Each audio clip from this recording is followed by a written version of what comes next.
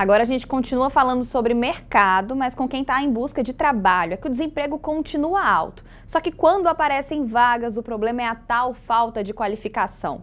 Para ajudar muita gente a driblar essa situação, aqui em Goiânia acontece um evento que está oferecendo cursos de graça para a população.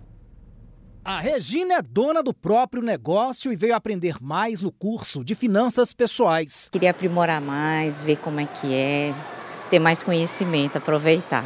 Já Ionara está desempregada e também veio buscar qualificação profissional. Gosto muito da área digital, mexo muito com a área de marketing digital, essas coisas. E eu acho assim que é, vai ser uma, um diferencial para mim estar tá agregando meus investimentos. Assim como elas, outras pessoas também estão procurando esse shopping de Goiânia, que em parceria com o Senai está oferecendo 460 vagas em quatro cursos, que começaram ontem e vão até o dia 30 de janeiro. A gente escolheu, por exemplo, a parte de inteligência emocional.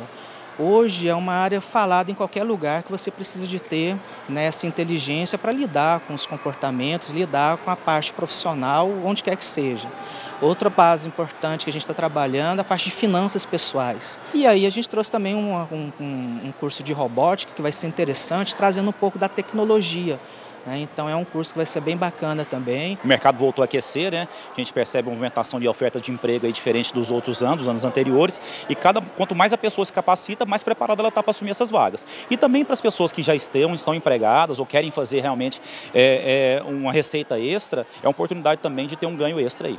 Agora prestem atenção nestes números. Só no ano passado, as unidades estaduais do Cine ofertaram 23.895 postos de trabalho. Desse total, apenas 6.903 foram ocupados, ou seja, menos de 30%. Mas não acabou e não. 2.478 candidatos encaminhados às empresas, apenas 8,4% conseguiram uma colocação.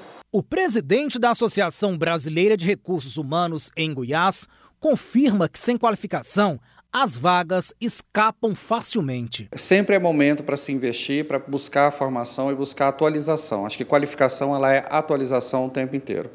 Então, ainda mais quando tem uma demanda muito alta de é, vagas no mercado e a gente não está tendo condições de empregar essas pessoas, significa que está tendo esse gap. Mas na hora de procurar a qualificação, escolha o curso certo. Muitos cursos já estão deixando de ser né, aproveitados. Hoje existe uma onda diferente. A gente fala que daqui a pouco tempo, fala 10 anos, 15 anos, muitas profissões vão acabar. A gente vê a, a, o quanto essa parte da informação, da tecnologia da informação, tem contribuído para surgir novos empregos, mas também acabar com outros. E você pode verificar os cursos oferecidos através do link blog.shoppingcerrado.com.br. Mas é bom correr, porque alguns cursos já não têm vagas mais, viu?